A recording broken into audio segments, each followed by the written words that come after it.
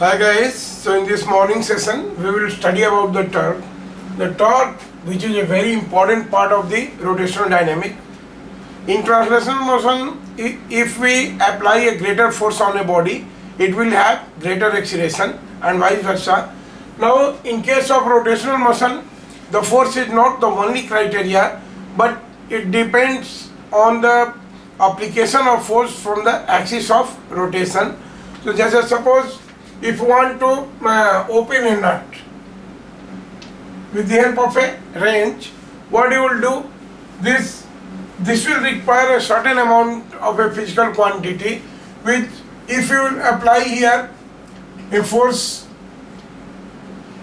F F1, right, and this is uh, critical value for this uh, F1 for open this nut then if you will apply here some force F2 then certainly the magnitude of F2 will be uh, quite large as compared to magnitude of force F1 to open the same nut right? So it depends on there is a factor which depends on distance of the axis of rotation from the point of application of force. And now this is the turn.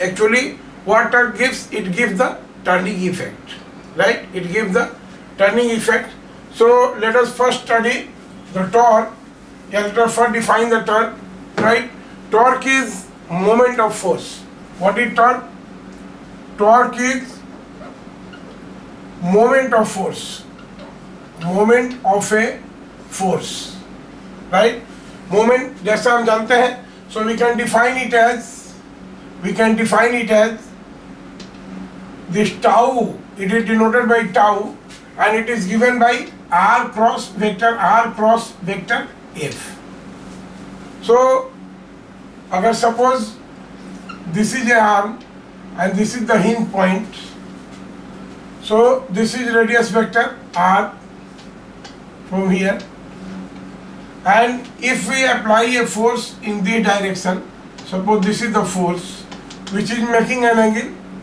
theta to the arm right so this we have tau is equal to this tau is equal to vector tau is equal to r cross vector af right?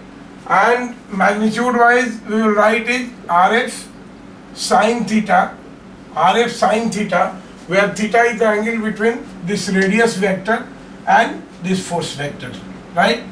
Where theta is the angle between this radius vector and this force vector.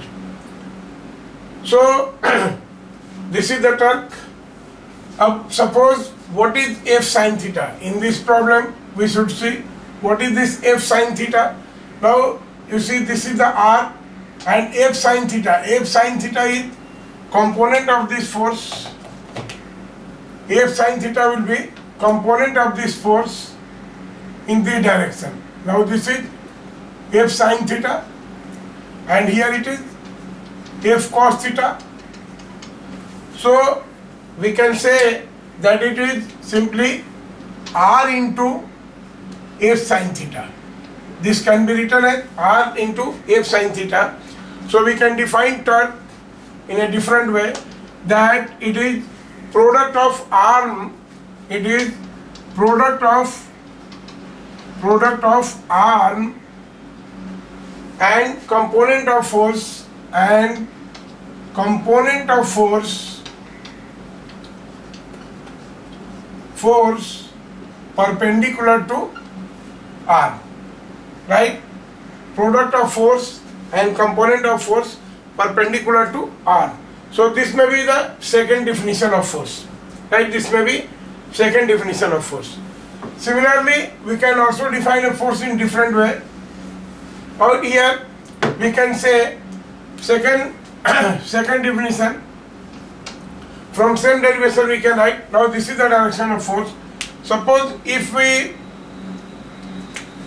extend the line of action of force in backward direction and this is the point so this is the radius vector r this is the radius vector r if this angle is theta this angle is also theta so what is what is this length यहाँ से हम ये कह सकते हैं कि this is also equal to this is also equal to are sine theta are sine theta को हम यहाँ करते हैं and into F R sine theta into F now this vector is r this vector is r and this angle is theta so of course this this length this length will be equal to this length will be equal to r sine theta right this length will be equal to r sine theta and this is the force right so we can define torque in different way that it is product of these two vectors yeah, this is product of two quantity r sine theta and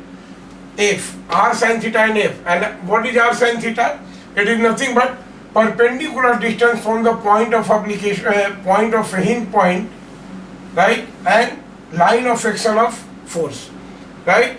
So uh, force can also be defined the second definition will be product of force this can be written as it is torque is product of force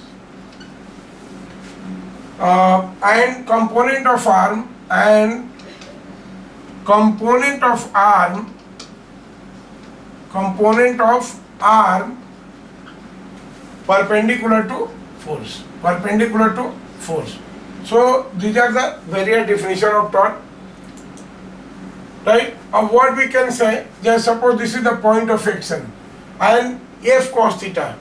F cos theta. So this f, f cos theta will pass through the point of action of force.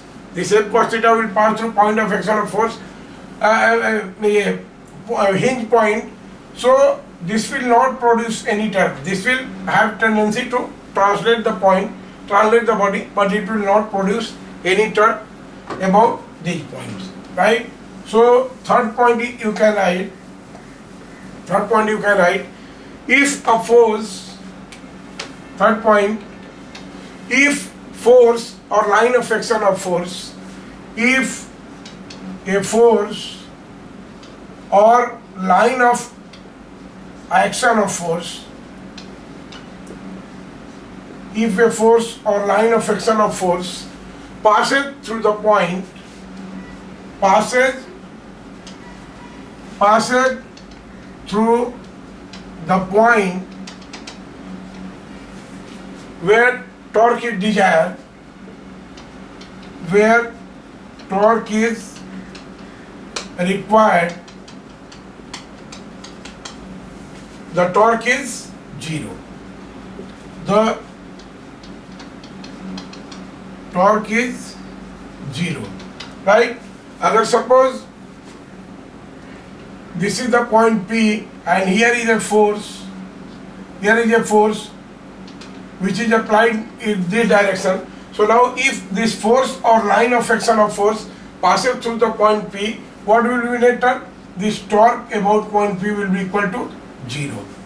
So this is about the force, right?